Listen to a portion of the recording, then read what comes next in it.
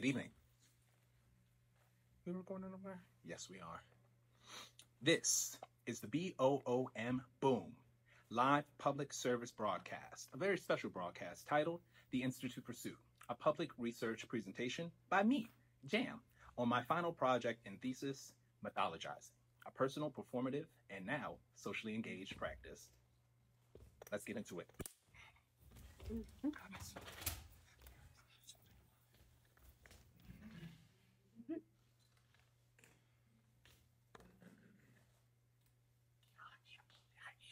Yeah.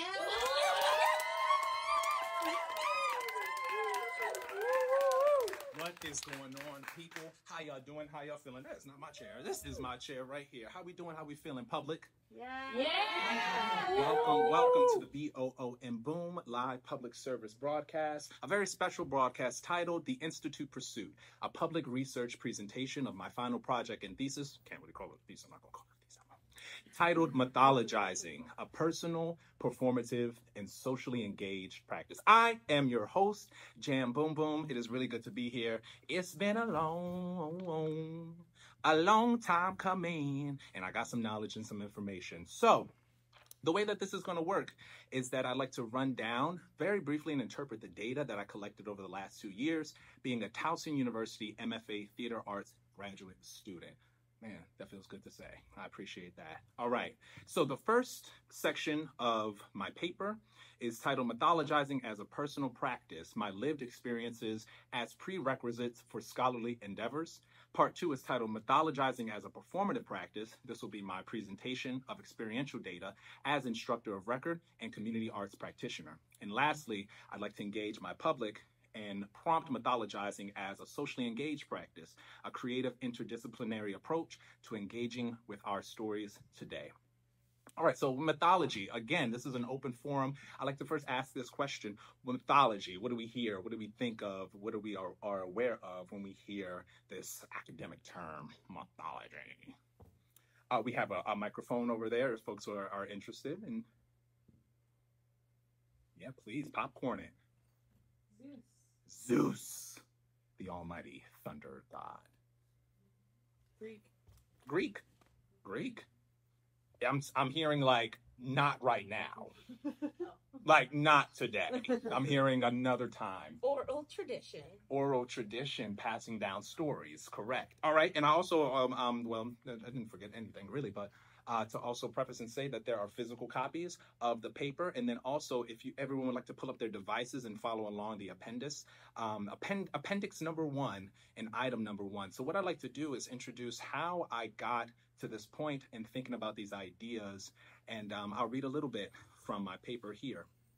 So, my positionality statement I'm a first generation American and college graduate, meaning not only am I the first in my bloodline to achieve Amer- American citizenship, but I'm also the first with social access to institutional resources. Through this access, I have accounted my lived experiences as a prerequisite towards my studies, an interdisciplinary approach to creating and interrogating theater, eventually becoming a production. Ooh, we are live. Yes, yeah, we are live. Thank you so much, my community, my tribe. Thank you, thank you, thank you. Yeah, that's fine. Thank you so much, Precious. Uh, book Precious, if y'all need, you know, videography, photography, she got you, all right? And she edit. All right, she do it all. And she about to graduate. All right, cool, cool, cool. Shout out to the community. So let's get back to it. through, um, yeah, so sorry. So through a, a, methodical recount of my lived experience, written in mythic proportions, which I'll just paraphrase for the sake of time, and a collection of experiential data teaching a college level course as instructor of record, a theoretical framework will be built to present mythologizing as a socially yeah, you mind telling that a little bit? Hey, that's what happens when it's live. I appreciate it. Let's give it up for Kai, y'all. Couldn't have done it without you. Yes. Quite literally, couldn't have done it without you. Thank you so much. I'll continue. All right. So, this is the phrase that I open up my paper with. If we do not learn to mythologize our lives, inevitably we will pathologize them. That is Father Richard Roy. Richard Roy, sorry. So again, if we do not learn to mythologize our lives, inevitably we will pathologize them. Again, I'd like to point it out to the audience. What do we hear? Uh, how do we interpret that sentence? If we do not learn to mythologize our lives, inevitably we will pathologize them. Uh, Yeah, yeah, please. maybe like if we can't sort of see our lives in the context of uh, something larger than ourselves, Mhm. then um, we're in trouble. we're in trouble. We're in trouble, like personal trouble, trouble with the law. Yeah, yeah. Placing ourselves and our narratives within a larger, what I call and what I refer to in my paper as an imperial mythology, imperialist mythology. But before being able to name a thing a thing or calling something out, I decided to practice mythologizing as a personal practice first. So mythologize means to over exaggerate and to make something of mythic proportions. It's to to to in a lot of ways American history has been mythologized, but this idea of heightening something that is super mundane. But what about we the people, folks who feel suppressed, oppressed?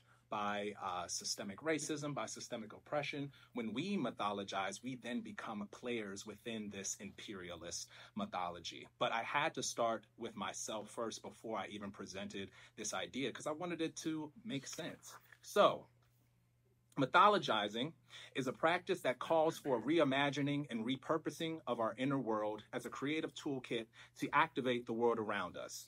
This is done through memory recollection and lived experience as sources of inspiration for narrative building.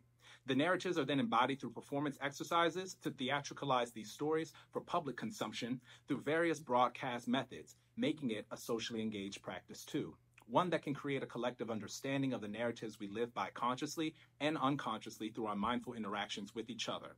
Mythologizing draws upon the ancient art of anthropomorphizing to attribute human characteristics or behavior to a person, place, or thing. The practice draws upon the study of astrology, the art of storytelling, and other systems attempting to give meaning to human existence, such as numerology, etymology, and psychology. Uh, to best illustrate how mythologizing developed as a personal practice, I find it on brand to introduce the journey through my own mythic storytelling. So I'll start with this quote from the book titled Personal Mythology.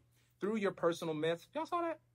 Through your personal myths, you interpret the past, understand the present, and find guidance for the future. Your myths address the broad concerns of identity who am I? Direction where am I going?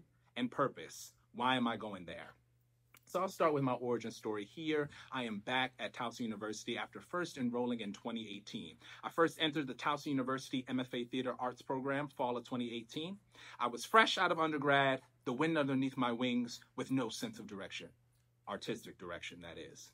I'd been learning about the history, the aesthetics, the works, and the impact of other performance artists for so long within these academic programs that when I could now frame my own artistry within the canon, I did not know how to. During a guest artist workshop with performer activist Tim Miller, I planted the seed. Shout out Tim Miller. I planted the seed. I planted the seed of what will become the mighty beanstalk that is mythologizing. Tim implored us to go within to bring out our life story to express through our bodies. Tim's inspiring performance journey caused me to reflect on what societal issues I could address through performance. It was then I presented an early form of mythologizing as a heightened expression of one's identity through performance, with the goal it's very important with the goal of revealing systems that suppressed this self expression. There is one's personal mythology, and then there is the larger mythology, as I referred to before. I, I will continue to refer to this as imperial mythology. It'll probably take on another word later on. That when not this in imperial mythology, when not observed justly, can and will prove to overwrite our stories. So I was distraught with the myth the false notion that's another definition of myth you know like that's a myth you know nobody believe that and that was done on purpose we'll get into that later. Um, so i was distraught so let's we're still back in 2018 right? I was distraught with the myth or the false notion that i would not be able to position myself within this larger mythology. I decided to leave the mfa program in 2019 with the same wind beneath me that carried me into the doors of Towson University, I caused a tumultuous windstorm to tear through the theater arts department via a letter of resignation. See Appendix 1, Item 1. This letter of resignation was not the representation I sought for myself as a potential scholar and artist. I sent the letter of resignation via email and completely disassociated myself from the academy, a theme of exile commonly found in political myths. Little did I know, y'all. Little did I know. All right, so within my exile, right, I'm like, damn, I'm down bad. You know what I mean? I'm really, really down bad. Thinking about what I can do with my life, thinking about what I need to change. And so, you know, like anyone else, I hop up on the internet. You know, hey, what's up? What's everybody talking about on the internet and stuff? So I'm still fascinated by mythology. I end up doing a, a YouTube search, and I find this scholar and lecturer who was popping in the 90s by the name of Bobby Hemmitt. Bobby Hemmitt has a huge, kind of echoing, bellowing name in the underground grassroots spirituality, black and urban community as an alternative, radical, and a revolutionary as far as different ways that we can look at mythology, religion, spirituality, and also to practice that in real time.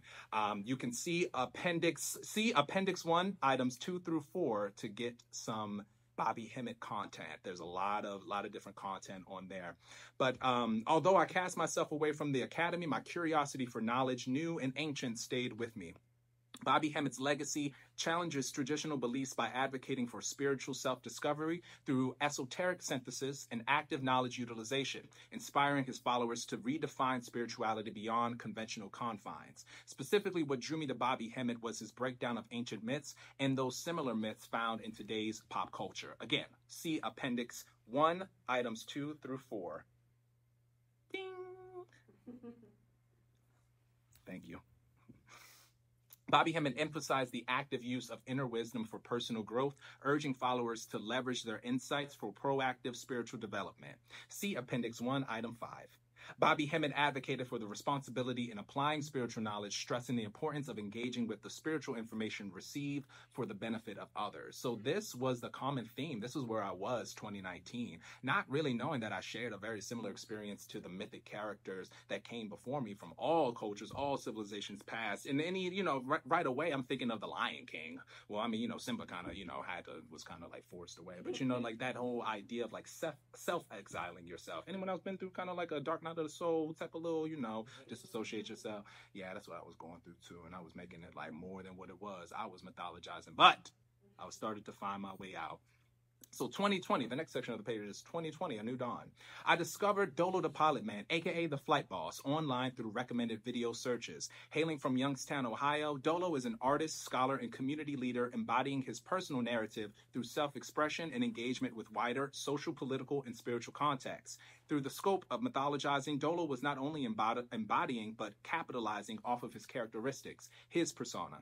He skillfully presented the ways in which myths play out in today's time, for the good, via the inspiration to up for others to be themselves, critically engaged with the systems of the world around us, and for the bad, like online trolls, character attacks, and the gate and gatekeeping the exercise of new knowledge. Hmm. I was most intellectually intrigued by his astrological and spiritual content. See Appendix 1, Item 6. Doelow's direct influence in forming mythologizing comes from his breakdowns of how to view astrology and spirituality. To make his claims, however, his reminder is that to introduce a, a, new original way of looking at or doing something, you must be willing to oppose or be negative to what's once existed, including yourself. This calls for a radical yet accessible way of viewing astrology and spirituality. Spirituality is indiv- individuality. Doelow simply puts it. Your individual solo space. That is your soul. The flight boss refers to our spirit as the observer of our experiences. When we practice separation from our circumstance, as in view what we are experiencing in the third person observation, we can become aware of all the possibilities at play versus getting stuck in our own bias, the cause of much contention in modern times. By doing so, we are placing our awareness outside of our personal mythology and into the arena of the much larger mythology. This was where the work of mythologizing as a personal practice began. Please scroll down to Appendix 1, items 7 through 8. So, Doelow breaks down astrology as the mechanism on which we interact with the world around and around us and ourselves. Each civilization understands the tracking of time to uphold their society's practices. Deriving meaning from and interpreting these transits has become the system in which we categorize the time of year by the season. Ultimately, since we are born within this atmosphere, we are attempting to map out. We are oh, I'm sorry, let me Ultimately, since we are born within this atmosphere we are attempting to map out, we are impacted by the transits on a deeper level, see seasonal depression. The meaning of these transits is interpreted as knowledge about what to do and what not to do according to the time of year. See Appendix 1, items 7 through 8. Did I already say that?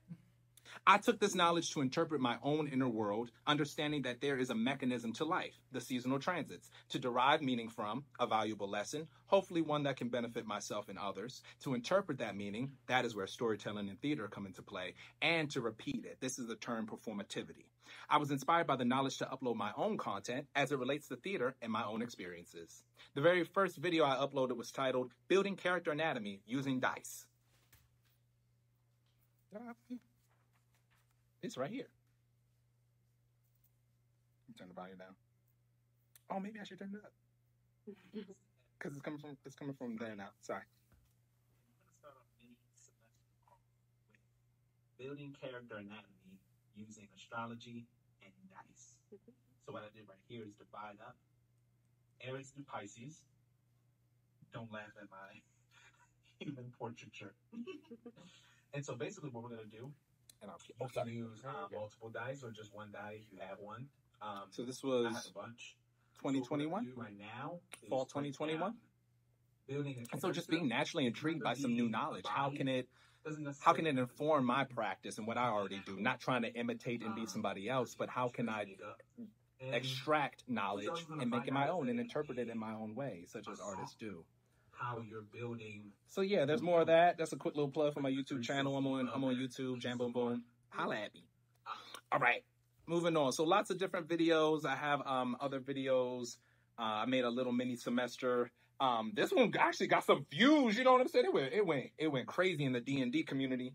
Uh, this is D and D dice divination and storytelling. Um, so just giving my own interpretation. Well, that's not D and D.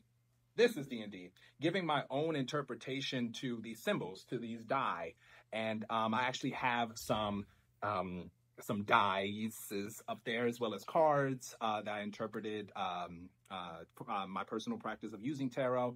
Um, so it's up there. Y'all can come and take a gander afterwards. But yeah, so I just started to, and even that practice of getting up and going live or performing live while I wasn't, you know, on stage at that time. This is like pandemic time.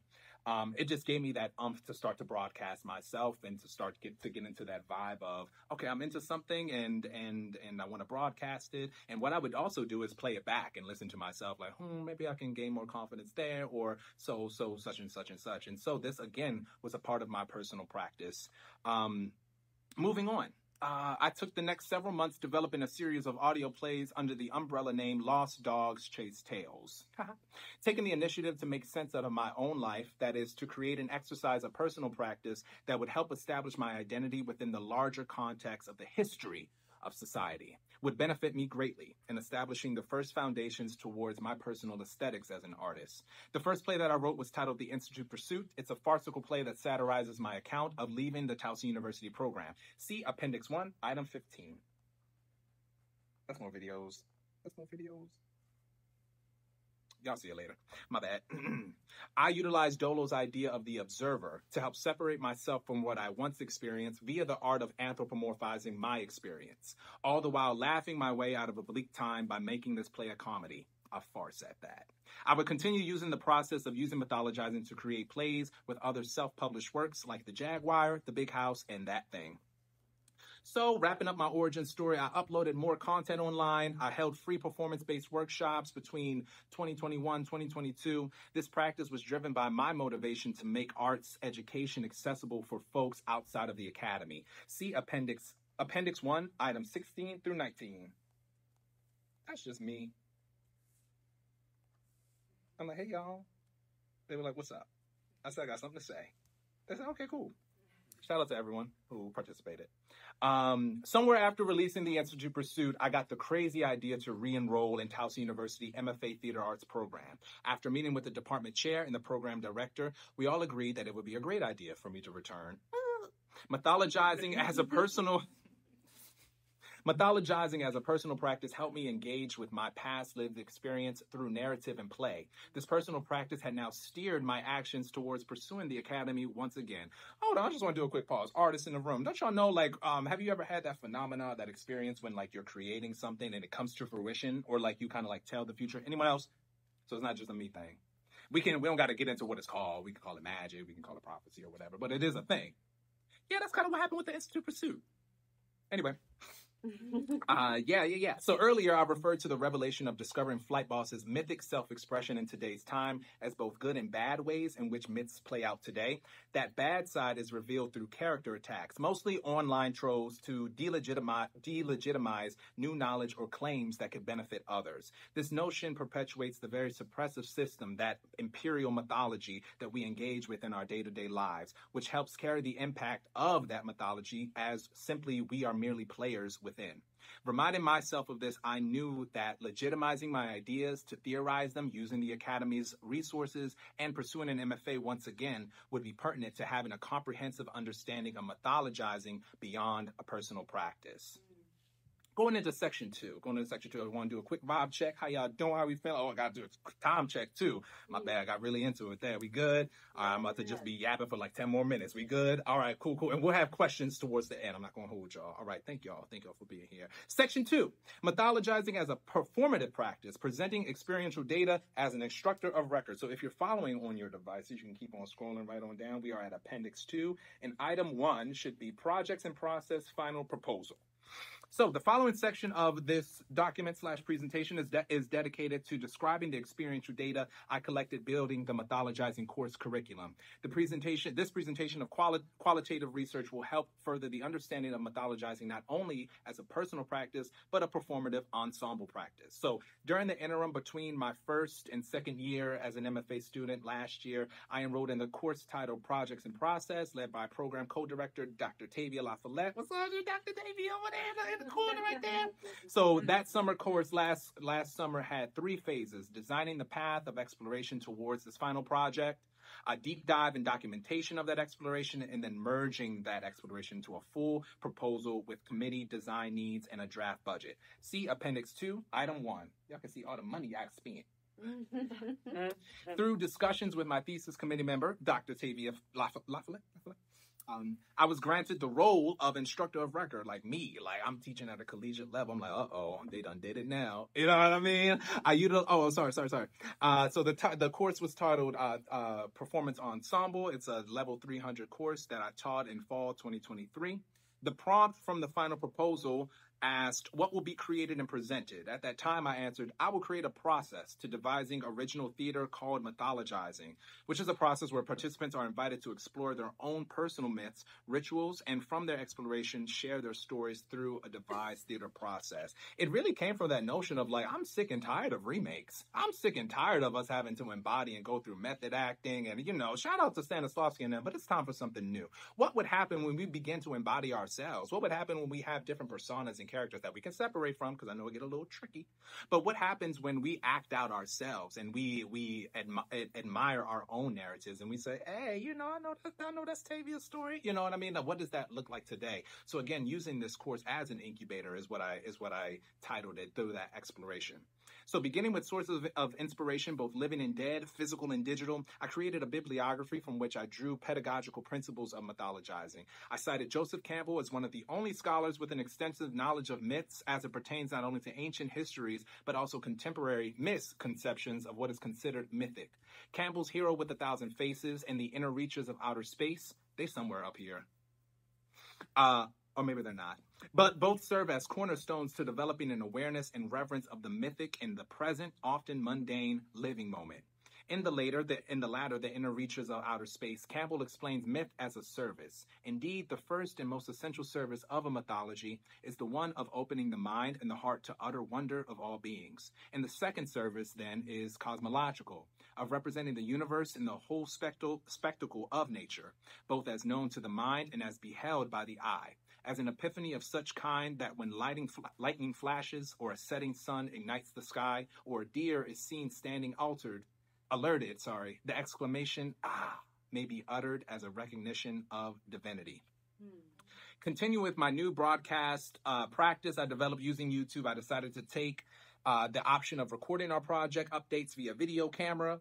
Why is that video camera like like it's 2006? See Appendix 2, items 3 through 5.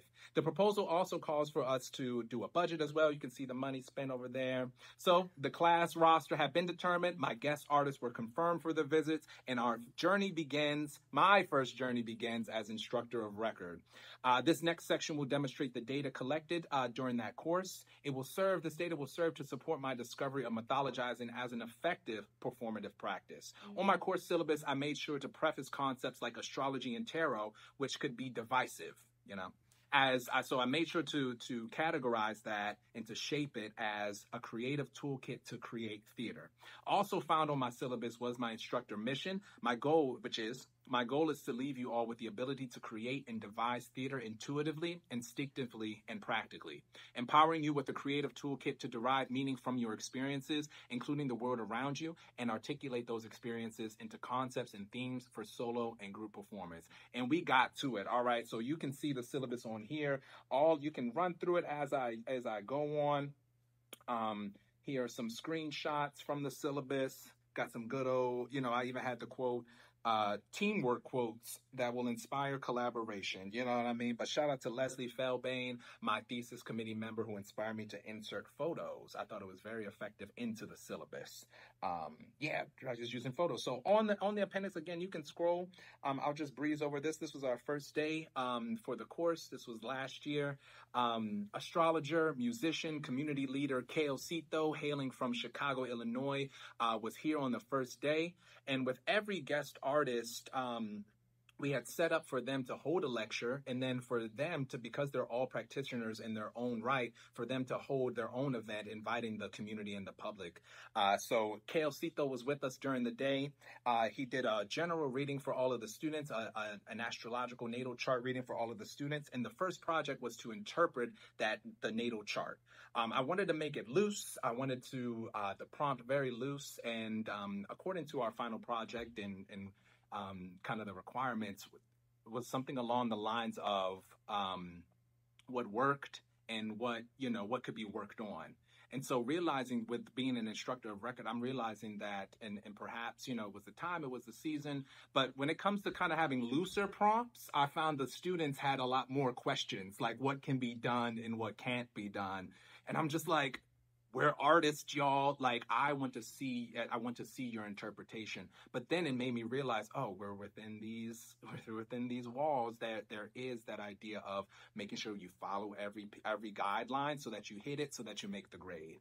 And you know i found myself just kind of contending with that invisible like oh why can't we just break out and and present something to be fit but there's steps and there's a there's a process to that that i learned over the 16 week course. So i'm going to keep going down keep going down. Um um, uh, viewing astrology, the zodiac wheel through theater and performance, um, going through the house system, the planets, the signs, giving a very general idea. Um, I even have my my chart up there as well. And again, looking at all of this is understanding the mechanism, how we derive meaning from this, how we interpret it, and how we repeat it over time. Making it very simple to explain to a three year old, and also making it very simple for artists and, and for folks just in general, not to be so inundated by these bigger ideas, these bigger concepts. How can we mythologize them so we can capture them and eventually change the systems around us? So let's keep going down. This is pictures of me. Thank Kai captured these photos. Thank you, Kai. Put them up in here gonna keep going down. Um, the discussion boards were popping. Shout out to Benjamin McCardell. I hope I'm getting that last name right. Benjamin was one of my students. Uh, a part of their um, interpretation of their natal chart was creating a zine of uh, of their natal chart, and so I have a copy of that here. You can always view it on the website. I thought it was lit. I was like, this is exactly it. So shout out to Benjamin. Uh, the next week uh, we did an introduction to myth I found so many different definitions, but what I wanted to, and I was inspired by uh, the performance studies course taught by Dr. Michael Tristiano. I was taught how to break down, again, I'm really into just making something accessible, making knowledge accessible for us to then interpret in our own way. So what I discovered, what is myth? And what I wanted to break it down was, what does myth do? how does it do it and what do we do with it and the inspiration i got from dr michael tristiano was how to look at performance what is performance how it's hard to read upside down. How does performance do it, and what do we do with it? I said, you know what, that that's a good way to break down myths. So thank you, Dr. Michael Tristiano. All right, um, yeah, yeah, yeah. So we're gonna keep going down to it. So the next assignment was to create a remyth. Uh, I wanted folks in the class to uh, find. I, I provided links to myths from all over cultures and civilizations and i wanted the students to find one that they personally resonated with due to the morals uh, the, the principles the virtues and then in collaboration with other folks remyth it. So like taking loki and yemaya and like what would happen if they like came together and like joined forces or they were beefing? Like take zeus and take thor you know and just be like you're me but i'm you. You know like what would happen that remyth again to get the interpretation of, of the students and what they're getting from the story what do these characters represent. Do I still got my tag on here? Yeah, I probably do a little button right there. I just noticed that. But yeah, again, uh, so again, just starting from the individual, understanding the individual process. Again, mythologizing as a personal pro- process, practice, the performative aspect being how do we collaborate, and then the third part in wrapping this up the third part of the class was coming together as a group ensemble. So this is where we took everyone's myth, the personal narratives that we taught. We also had, uh, in between that, we had guest artist visit from Leslie Felbain and from JDB. JDB hails from Atlanta, Georgia. Uh, she's a musician. She's a tarot reader, energy reader, filmmaker as well.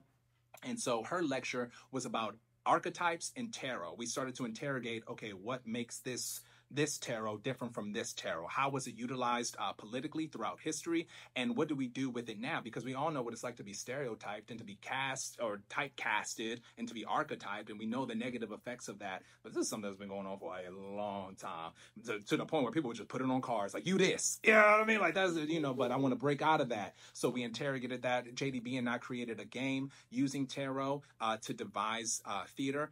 Um, it was lit. And and JDB also holds something called the Inner Child Healing Workshop, which we held here in October. Um, it was a truly transformative experience. Uh, JDB is also an interdisciplinary artist in her own right, merging psychology, spiritual concepts, tarot, and this idea of self growth. Uh, excuse me, self growth. So shout out to JDB. I appreciate you. And then Leslie came through. Leslie is uh, a former. Um, my undergraduate professor um, uh, and a huge inspiration for me how to go about uh, embodying and being present using her expertise of body semantic work and as a performance coach has inspired my way of just carrying myself uh, throughout throughout the world. So i took a course called the alexander technique with her. I took a character development course um, and then also movement for the actor. And it was how Leslie embodied being a professor within the institution. It was how she was aware of herself within these four walls that from all those years ago, I want to say from like 2017, I always remembered. So when it came to getting into the room myself, I was thinking about Leslie, who was here with us today. And uh, we're going to continue to work and collaborate. I need to, you know, loosen up my body, loosen up my chakras, you know what I mean? And, and if y'all need that, shout out to Leslie. She got her own personal practice. If y'all needed like a little, a little loosey goosey, and she's located in Silver Spring. So thank you so much, Leslie. All right. And Leslie was also one of our, our guest artists. And then uh, Madam Asita, who we about to join in on Instagram, uh, she came in. She's hailing, uh, Michelle, aka Madam Asita, is hailing from Miami, Florida. Um, her way or her way into theater is through improv. So one of the last uh, group guest artist visits that we did was a big old improv powwow session. And I'm telling y'all, the students ate that up. I even got the the critique and the feedback that like this is what excited them about theater. They reminded themselves like why they got into it. You know, everyone's inundated with this day to day life, getting the grade and paying the bills. But they were like, you know what, this was it. And so from there we built the final and what I presented it as a works in process. Um, it was a final showing, not necessarily a production, just to kind of get that get the ease off of that as far as like whatever sort of um difficulties might come with having to present the final because this class was is more about the process and having the students um, see themselves as the individual. How do they come outside interact you know with their in their community? And then how do we like really go outside with it? Again how we're interpreting all these larger systems. All right. So we're gonna breeze through that. That's some more work. You know if you look through append- appendix 2 all of the dang on items, you know what I'm saying?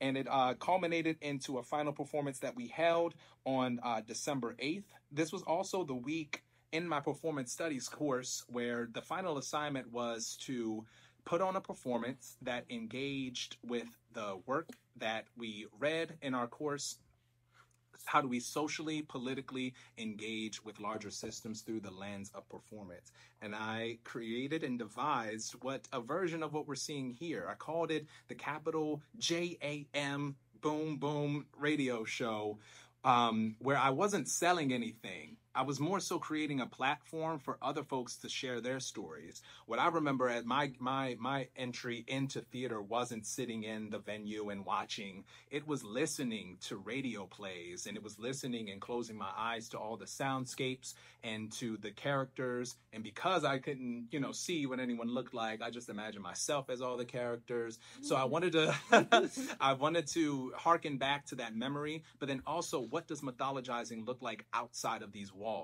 What where is myth? Is it gate kept? Is it possible to make mythology? I don't think that's what we're doing, but we are engaging within a system that is based off of narratives. We can access what's going on on the news channel. We can access what's going on in our local community as far as like this is the enemy, this is the problem, this has been an age old um, uh, uh, conflict from the beginning of time. It's like dang. So mythologizing really helped me to look at these larger larger concepts and these larger conflicts as narratives because I did the work within myself first. And I'm continuing to do that. I'm continuing to separate, you know, just from, you know, let's just say like attributes like being lazy and procrastinating. You know what? I'm going to say, you know what? Forget that part of myself. That's not who I am. Let me mythologize and uh, let me get up and do something for the day. That's just a small little example of how we can mythologize throughout a day. Everyone has their own way of doing it.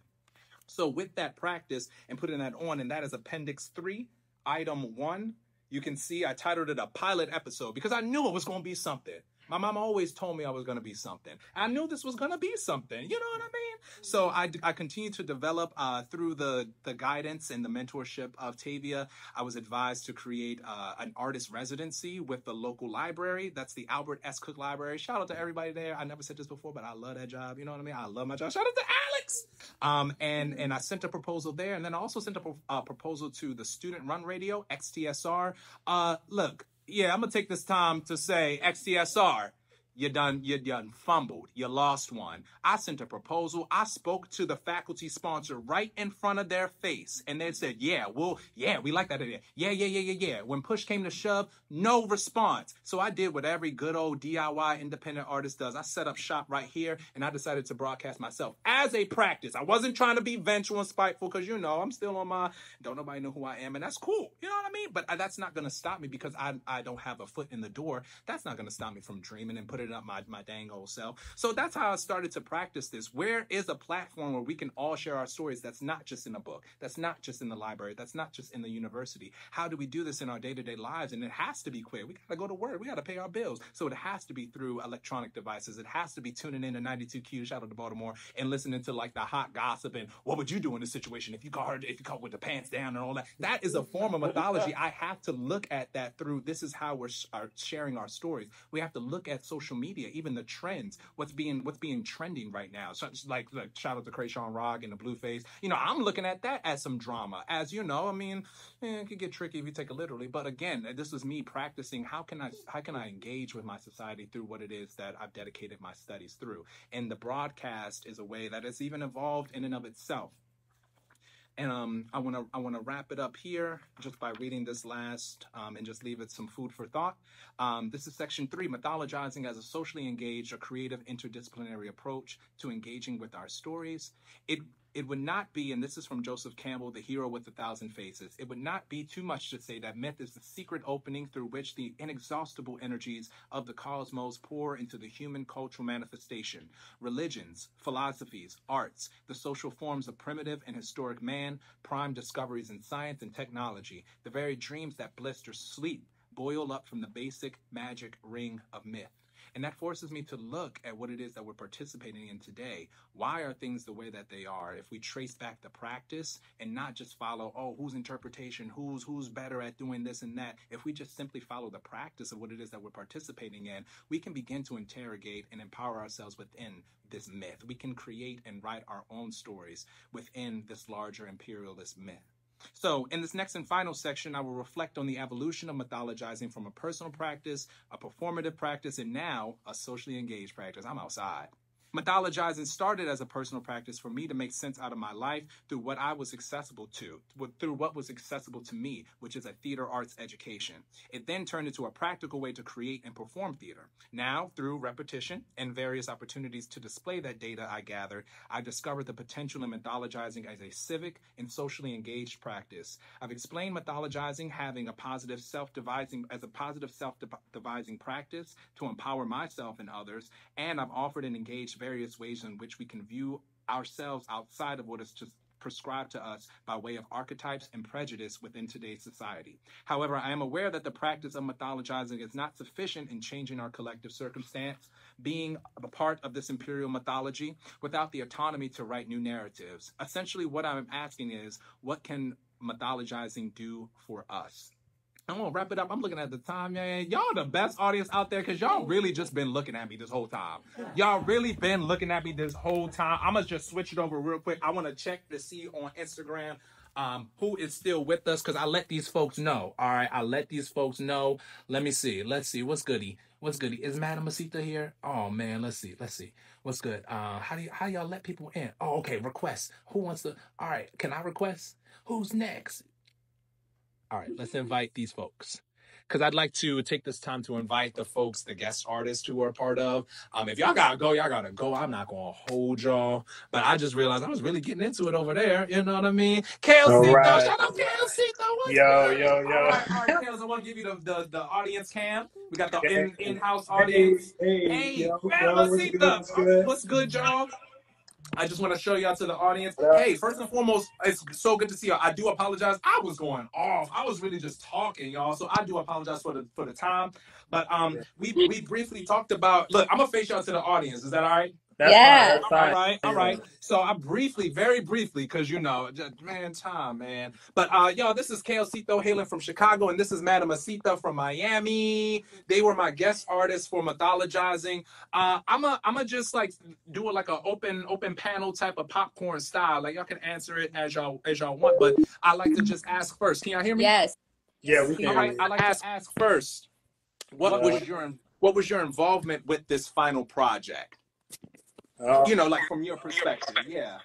yeah, like it, it was it was a good experience. Uh, I came in, you know, knowing that astrology was a was an interesting topic, a unique topic. So I kind of just wanted to be like Professor Snape. You know what I'm saying? Like I just wanted to come in, like you know, you know, um, and you know, it was it was it was great. It was engaging. Um, I felt like I, you know, set the blueprint, you know, to the, the whole thing. You know, Mhm. um, On the first day. yeah, yeah. So it, it was, it, you know, and it, it was a it was a, a si- significant moment for me. You know, so I appreciate you for having uh, us out. Nah, You know, for sure. everything you've for sure. That, was- that was legendary. No, thank you so so much. And the way that I, I Absolutely. Said, no, No, yeah, yeah, the way, the way I I set it up, I said we got our in-house astrologer. You know, like we got our Right. in the house. You know, versus Yeah, you know, being and that's separate. how- So it- Mhm. You know, I came out drilling like I wanted to teach. Like Mhm. that was my thing. Like because I actually right before you hit me up, you know, I was just used to basically giving information. You know, Mhm. I just had, had started writing down aspects of, you know, the sun you know through Pluto to see how we can characterize, you know, for myself because I wanted to give examples for, you know, classes that I was thinking about teaching. So when you called me, it was just I just had did that, and it was just like college so soon, you know. so Absolutely. yeah, yeah, but it, it was interesting, um, you know, and yeah, I'm thankful for the opportunity. Oh, thank you. Thank you. Thank you. I um I remember and just to, to touch on that day, um someone someone had came up to me later, like you know, everyone had left, and one of the students came up to me and was just like, Look, like I grew up in a Christian household. We was told not to touch this type of stuff. Mm, And that made me think of how I'm how I'm framing this course to understand, you know, folks are coming in with their lived experience, valid, you know, like and it's valid, but to really prompt this idea of how to look at astrology as a creative toolkit. Now you can take it as a personal practice, but it's just there. It is what it Right. is. There's other Right. folks and their bias using it for this, you know, using it to make a buck. That's what it come down to. Absolutely. But I want to say I want to say thank you for the general reading that you provided because it gave them and everyone referred to it in the documents later too. You know, like oh I never got a reading before and stuff like that. So yeah, so thank you. Nice. I want to move it on to Madam Asita. Madam Asita, can you talk about first of all how you doing? I'm doing great. Thank you so much for being here. Um, can you talk about your involvement with the mythologizing course? Um, wow. So I was a little scared to do it because I feel like you guys had way more expertise than me, but it was so fun and I really appreciate the invitation. And I, I feel like I learned more than everybody. the room, the whole ensemble shifted. All the students, something shifted afterwards, Yeah. uh, just because it had been so individual based, and then maybe working with one other person. But then when everyone was together, they were saying things along the lines of like, "This is what reminded me of like why I fell in love with Yeah. theater," and it was dedicated. We had like a whole two hours of just improv games. Did we even take a break? We, Yeah, we, we played like 20 games. played- Madam Asita came with all the games, y'all. My bad. I feel like I'm just talking with them. Okay, my bad. We're, we're presenting. Um, I feel like all of us wrap it up, 'cause learned. I- I feel like all of us learned. no, yeah, I'm looking at the time. I'm considering other folks' time, but I want to ask this last question to both of y'all. How has your personal mythology? You know what? No, I no no no. Let me get right. Let me get right because I had I had the actual like question question. Um, let me okay, okay. Come on, host host. How has your personal uh how has the development of your personal mythology led you to this moment? That that's it right there. How has the development Mm, of your personal Said, mythology mm. how has it developed to to you being here in this moment Yeah. Um, you know, like just affirming myself. I didn't grow up without a father, so even in astrology, like uh, some of my placements are tied to Zeus. So I always had to like father myself and and being able to pass that down and be you know validated on some scale obviously. That's not you know nothing i indulge in but you know it tells me i'm doing something right. Mhm. so you know changing the course of my life and you know uh, yeah i think you know just me validating myself has kind of put me in this space where you know um, you know I, I feel like i got something of, of, value to offer to others. And uh, yeah that's been my, my teeth you know? When you when you when you from an area where i'm like you know a lot of a lot of the things ain't really passed down for you to know to do what's right or wrong. You know there's so many taboos so many temptations so many people not like really you know caring about the right things so you know i essentially you know had my own compass and you know uh you know some things you can blame it on luck but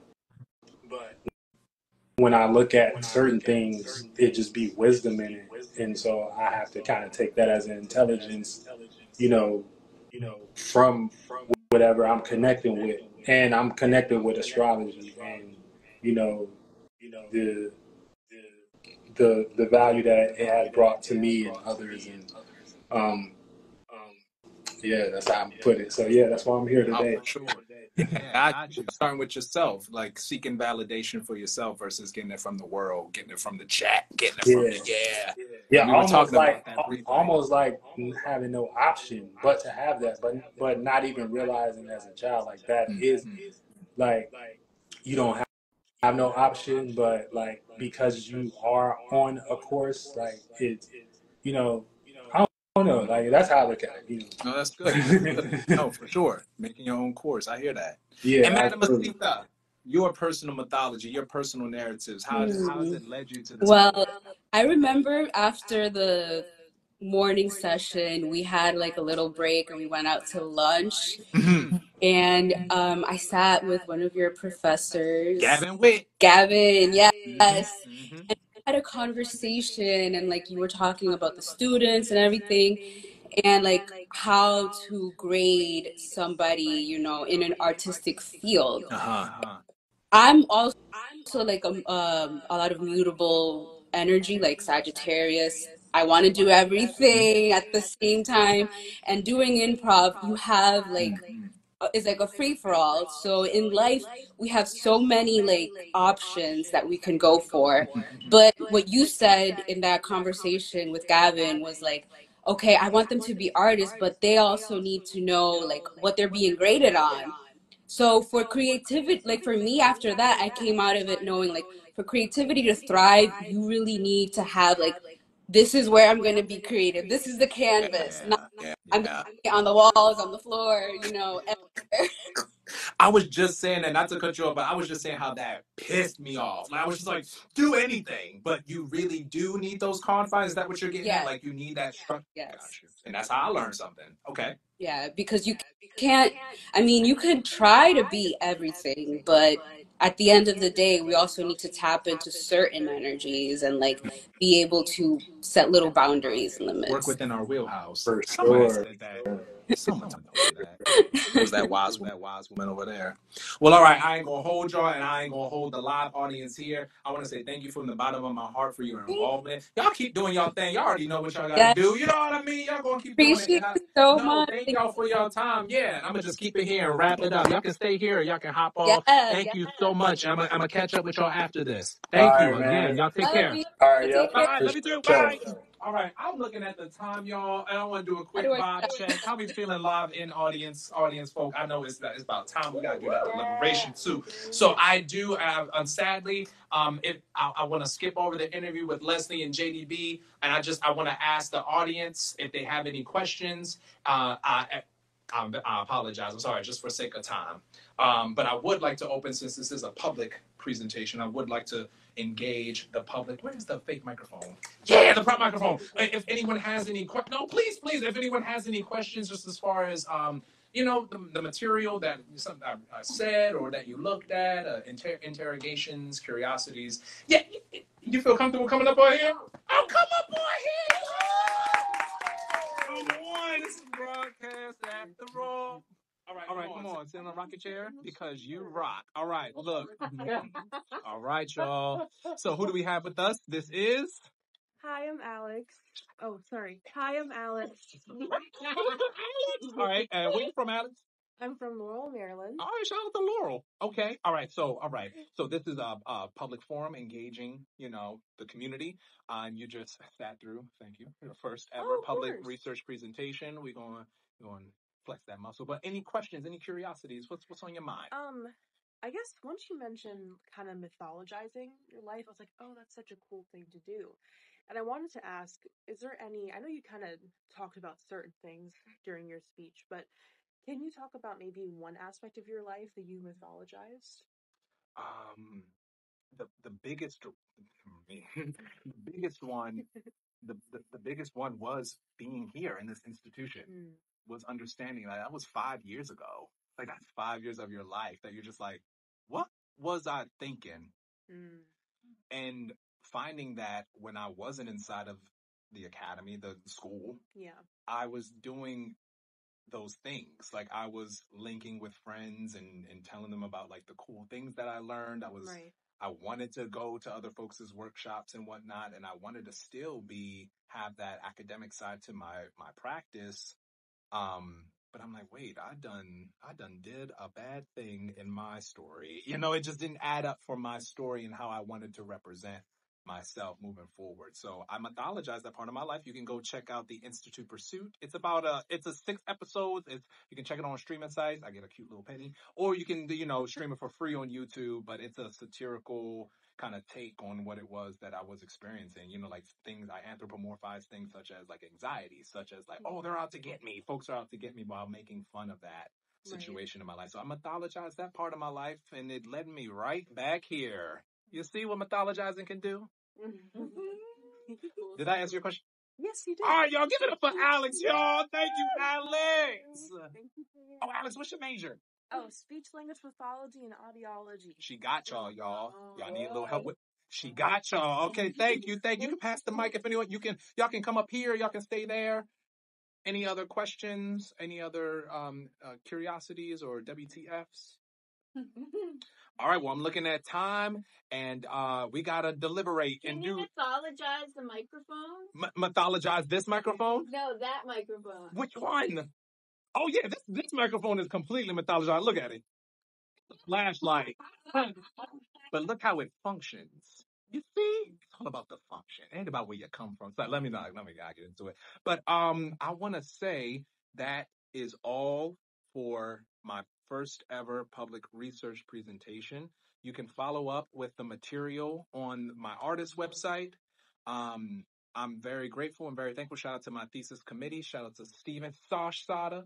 Shout out to Tavia. Shout out to Leslie and JDB. And shout out to Doelow, the- the pilot man, the flight boss. Shout out to Calez Ceito, Madam Asita.